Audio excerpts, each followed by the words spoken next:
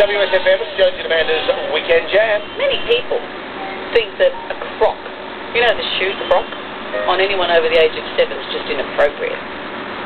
Well, I bought a pair of crocs. But For I, yourself? For myself. I've managed to do something especially attractive. I've combined the croc with the much-loved Ugg boot. I bought a pair of crocs that have sheep's wool inserts. A sheep in a croc. Sheep, yeah, well, as nature intended it. So the thing is, when I bought them, I said these will just be slippers. I won't leave the house.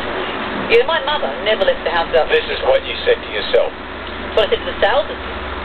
I said, are these slippers? She said, what do you think? I said, what do you think? What do you think? What do you think? is there a sales assistant that sells crocs? I thought you just picked them up from the chemist. it's not like something you sit there and have a big conversation about. no, well, I've got my special ones because they're croc Uggs. They're crocs.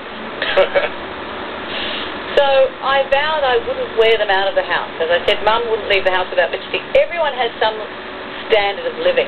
That's where I draw the line in the sand. Well, yesterday I wore them to the shops. you crossed the line. I crossed the line. I looked so attractive in a pair of long cargo pants. Just, they were short enough, the cargo pants, you could see Oh, no. an attractive hint of croc with a sheepskin So, insert. You're crunked. Crugs on so, look, I apologise if you saw me at the shops, and I do know that this is the beginning of the slippery slope. Before too long, I'll be at the shop in my brunch coat with an egg stain on it. That's Craig to Pagan. the Weekend Jam with Jonesy and Amanda. WSFM.